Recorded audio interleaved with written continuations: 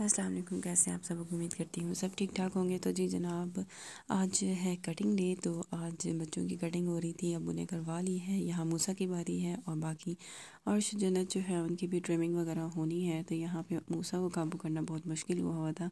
तो मूसा किसी के काबू नहीं आ रहा था, दरअसल इसके बाल जो है ना, बहुत ज़्यादा हल्के हो गए हैं।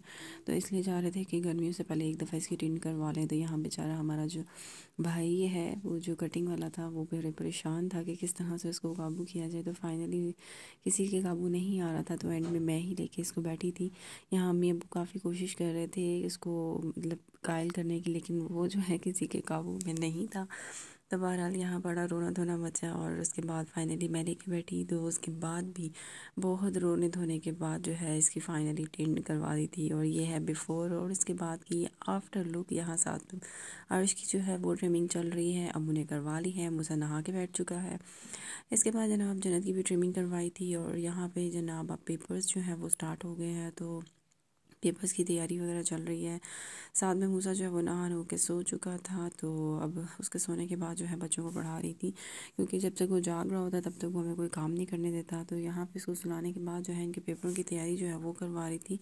तो हम्म, बस इसी तरह टाइम गुजर गया। आज कटिंग में काफ़ी टाइम लग गया था बच्चों की। तो इसके बाबा जो है वो आ जाए हैं तो जनाब उनको गिफ्ट मिला था किसी ने दिया था उनको। तो वो जो है ये सोहन हलवा और आपको पता है सोहन हलवा हो तो कौन छोड़ता है यार?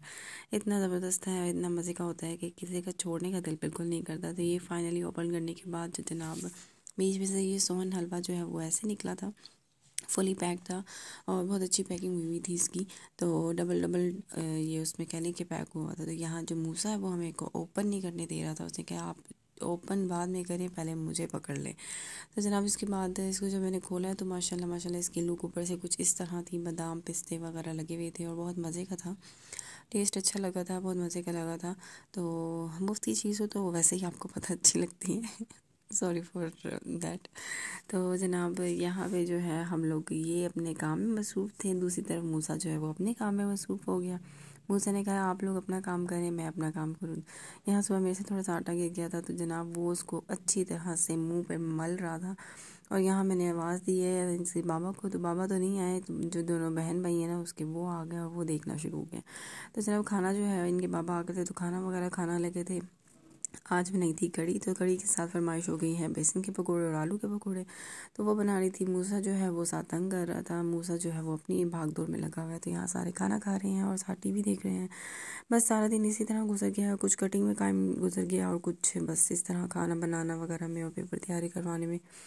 तो यहाँ जो है, मूसा जो है, वो आजकल नई टेक्निक ढूंढ रहा है, मूड़ा उल्टा करके जो है, उसके अंदर हाथ डाल के तो उसके जो तिनके वगैरह जो है ना, वो बाहर निकालने में मसरूफ़ है। एक्चुअली हमें लग रहा है कि इसकी टिन करवाने के बाद ना, ये कुछ एक्स्ट्रा ऑर्डनरी शार्प हो गया क्योंकि ये बहुत तंग कर रहा है, काबू नहीं आ रहा। पहले तो मतलब ज़िद कर रहा था दांतों वगैरह की वजह से तो अब जो है वो शरारतें कर रहा है फुल टाइम हर चीज़ उठा उठा के फेंकी जा रहा है, चीज़ें आगे खींच रहा है, टिक नहीं रहा है। और आगे से बच्चों के पेपर हैं तो माशाल्लाह हमारी तो अब दौड़ लगने वाली है ना। क्योंकि ये काबू नहीं आता और जब तक इसने सोना नहीं, हमने काम नहीं करना। ये यहाँ ज़मीन पे लेटा शरारतें कर रहा है। मैं कह रही हूँ, आओ मैं सुलाऊँ। टाइम हो रहा है सोने का, ताकि बच्चों के पेपर्स की वजह से अब तो आपको पता रूटीन थोड़ी चेंज हो जाती है। तो बस यहाँ पे शरारतें चल रही हैं और साथ में टीवी चल रहा है। और इसी तरह जनाब आज हमारा दिन गुजर गया। और कुछ इतना ख़ास नहीं किया, बस कटिंग के दौरान ही जो है वो सारा कुछ हो गया। तो उम्मीद करती हूँ छोटा सा व्लॉग आपको पसंद आया होगा। लाइक शेयर सब्सक्राइब करें। वीडियो को एंड तक देखें। इन नेक्स्ट व्लॉग मैं आपके साथ जल्दी शेयर करूँगी। तब तक अल्लाह हाफिज़।